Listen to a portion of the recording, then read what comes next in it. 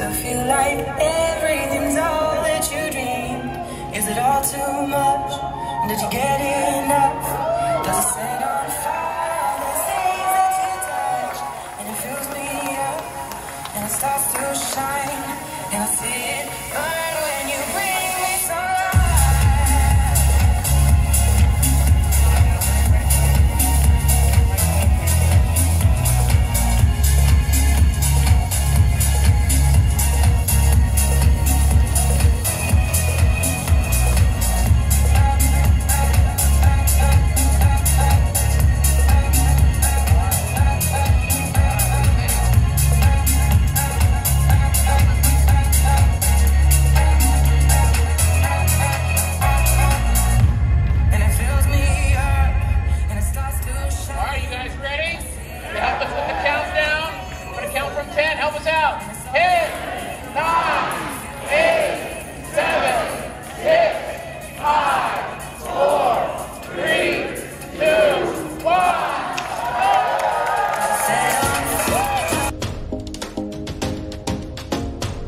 We are still the cruise capital of the world, and this beautiful new building is launching the Virgin Terminal, Terminal V, and we've got a special ship here ready to take sail, and it's just a gorgeous experience.